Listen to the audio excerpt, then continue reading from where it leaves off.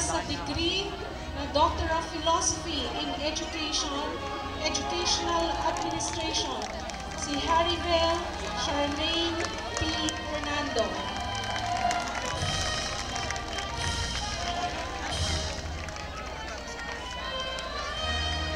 Para sa degree na Doctor of Philosophy in Education, Educational History and Philosophy, si Honey Jane F. Santiago.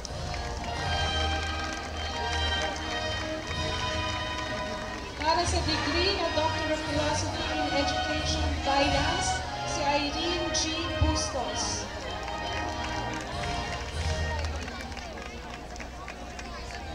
Para sa degree na Doctor of Philosophy in Education, Language Education, si Aurelio P. Vilbar. Para sa degree na Doctor of Philosophy in Education, Mathematics Education, si Nilda T. Agabao.